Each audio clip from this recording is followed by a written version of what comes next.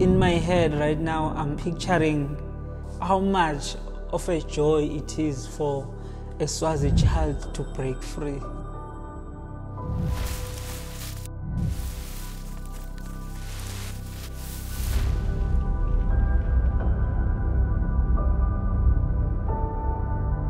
I mean, African children, like, they are one kind of people that can really express happiness.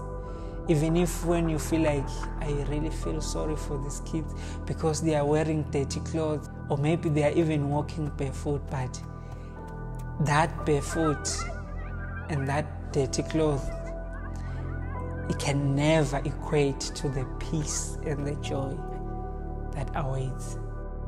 That's what you have the most compared to all the other troubles, compared to all the other things that you don't have. Because that joy actually symbolizes the joy that can be foreseen in the future. They are the dreamers. Great things await for them.